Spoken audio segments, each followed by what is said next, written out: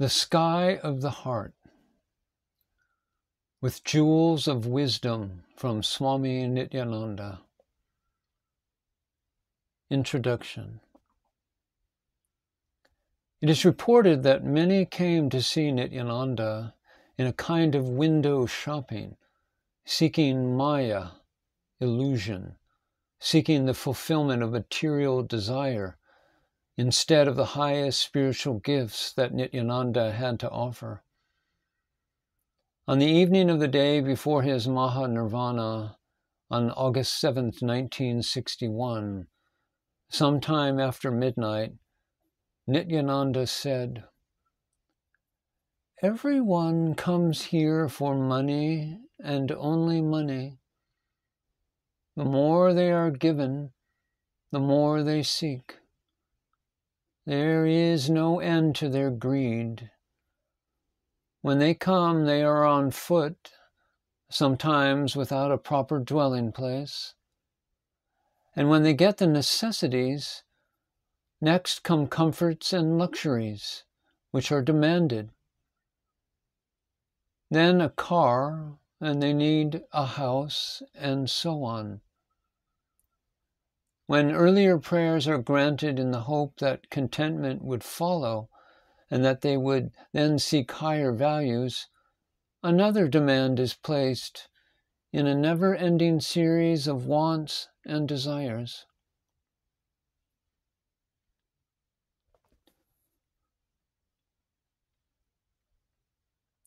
For centuries, Westerners have seen India as a land of magic and mystery. Western writers describe both fiery eyed mystics performing apparent feats of magic, as well as rigorous system of scholarship in philosophy pursued with energy and precision for thousands of years.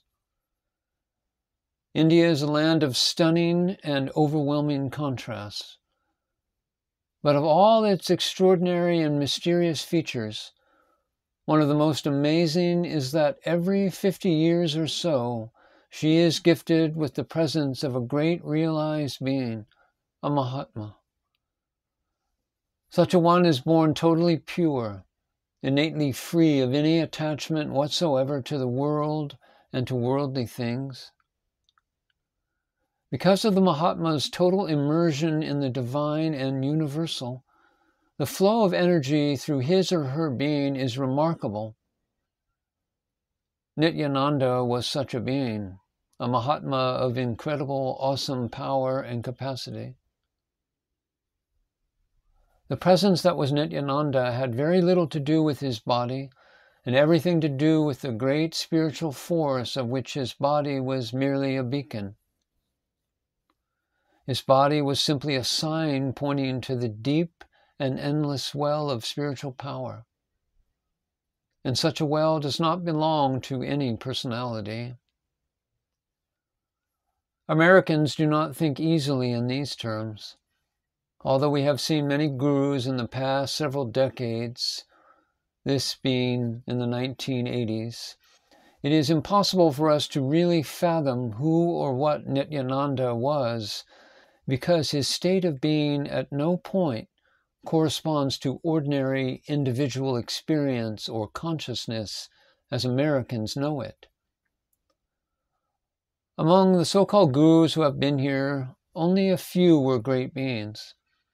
Many were great showmen, and a few were charlatans.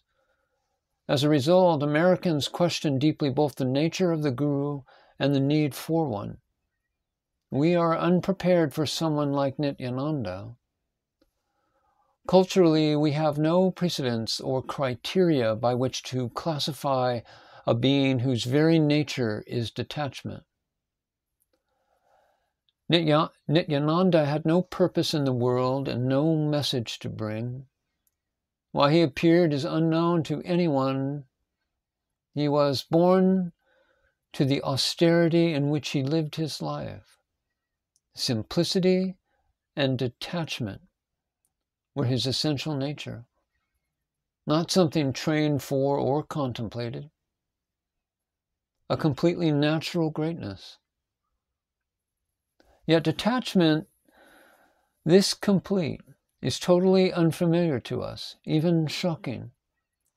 For example, people often brought him offerings of fruit, which by week's end might add up to tons of food. And sometimes it would rot. It was not that he was stingy or did not want to give it away. In a way, he did not even notice that it was there. He was that disinterested in external things. All the fruit and flowers and other gifts that appeared were like raindrops falling from the sky. It never occurred to him to do anything with objects that manifested around him. Most of us think that in order to pursue a spiritual life, we need something different from what we already know, a different idea, philosophy, or lifestyle. Nityananda made no such demands. He did not promote a particular lifestyle, philosophy, or perspective. He was not a teacher of any method, and he did nothing to establish an organization around him. He never gave the required programs, intensives, or workshops, or seminars assumed by modern day mentalities, and he never asked for money. People came to him and he blessed them, he uplifted them, he gave them whatever they were able to take from him. It was just that simple and that free. He brought tremendous peace and betterment to the simple people. The poor and the destitute were especially drawn to his simplicity and lack of judgment. As time went on, he touched the lives of countless beings of all classes, showering miracles of healing and upliftment upon them. He sought no one's approval, recognition, or promotion for this. He lived in the jungle where people had to seek him out. Nityananda was a very simple man who dedicated his life to the presence of the divine and who lived each day as a beacon of that presence. To approach Nityananda, we must suspend all judgment. His words are profound, and the subject is nothing less than the essence of life itself. We often think in terms of being blessed by a great master, but it is not the act of a self realized being declaring, You are now blessed. It does not work like that. One who is self realized is no different from the Absolute. He has realized God and is God in form. It is the act of merely being in the presence of such a being that bestows grace. Proximity to a Mahatma is a transforming experience, giving each one exactly what he or she is capable of handling or receiving. This is why we read that Nityananda's presence was considered divine presence. For in the most literal and real sense, one was standing in the presence of God. This presence naturally produces miracles in the lives of all one touches, and it continues to this very day.